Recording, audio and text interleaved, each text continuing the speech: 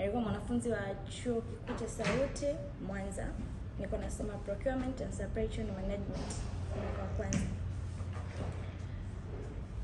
Kwa ufupi ni kwamba mnamo tarehe kumi na tatu mwezi wa sita kama sijakosea, ni siku ambayo nilienda kutoa taarifa polisi baada ya kuwa nimefanyiwa kitendo cha kuingiliwa kinyume na maumbile na aliyekuwa mkuu wa mkoa wa Simiyu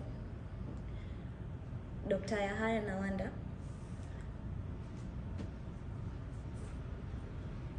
Um?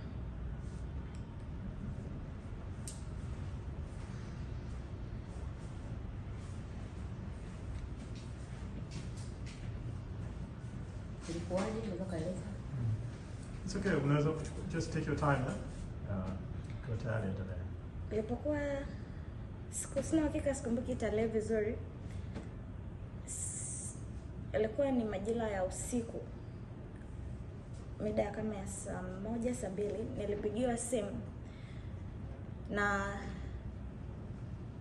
na aliyekuwa mkuu wa mkoa wa Simiyu Dr. Nawanda alinipigia simu akiniuliza kwamba uko wapi, nikamwambia niko hostel.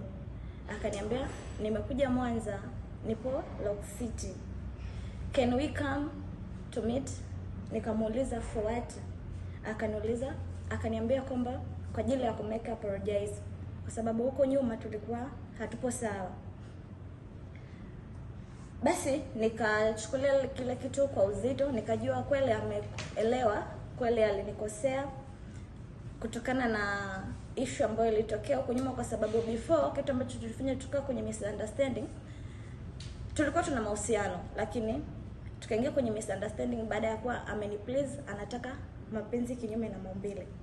Hapo ndipo toka tumekuwa apart, ndo misunderstanding yangu mimi ilipoanzia.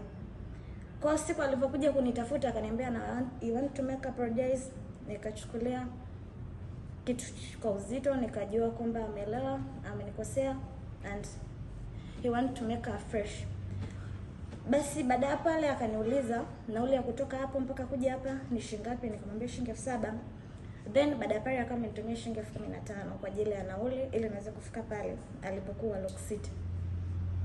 Nilipofika pale akaniambia kwamba ukifika tu takuona, mimi niko hapa nje parking. Kweli nilipofika pale akawa ameniona, akawa ameniita, alikuwa parking. Zo gari lake alikuwa amelisogeza kidogo na parking ya magari mengine. Nikaa nimesogea alipokuwepo, then tukaa tumeingia kwenye gari. Nilipoingia kwenye gari, first akawa mirango, then mtu ni kama akawa amebadilika sura, yani akawa like ash and akaniambia kwamba kwa nini unanikatalia kitu ambacho nimekuomba, na